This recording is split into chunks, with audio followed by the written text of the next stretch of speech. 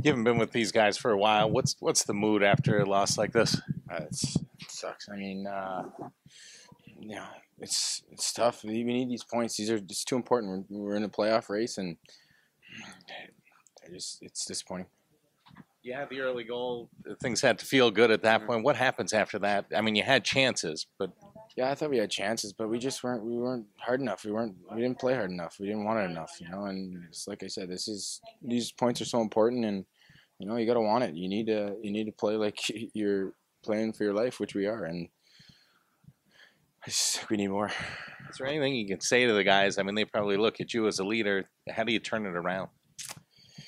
I think everybody's just got to play better individually for, for us to have success. I think guys, everybody's got to show up and uh, you know worry about themselves, and then just put that into a team game. That's that's most important right now.